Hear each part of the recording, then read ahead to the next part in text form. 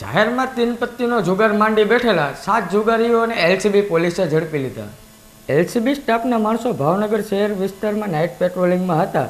તે દરમિયાન police head constable ઘનશ્યામભાઈ ગોહિલ તથા સંજયભાઈ ચુડાસમાને બાતમી મળી હતી કે સિચ્છરગામ વર્તેજ રોડ નાળા પાસે આવેલ સાયનાથ પ્રોવિઝન સ્ટોર પાન સેન્ટરના દુકાનના લાઇટના અજવાળે વિજયભાઈ મૂળજીભાઈ દેગામા, અનિલગીરી હિંમતગીરી ગોસ્વામી, પ્રદીપભાઈ ડાભી ધર્મેન્દ્રભાઈ કરશનભાઈ મકવાણા, પરેશ બાબુભાઈ ચોરાલિયા, જાહેર અબ્દુલ રજાકભાઈ ચૌહાણ, મુકેશ સાજણભાઈ મેર ને વર્તેજ પોલીસ સ્ટેશનમાં જુગારધારાની કલમો હેઠળ ગુનો નોંધી વધુ કાર્યવાહી હાથ ધરી હતી.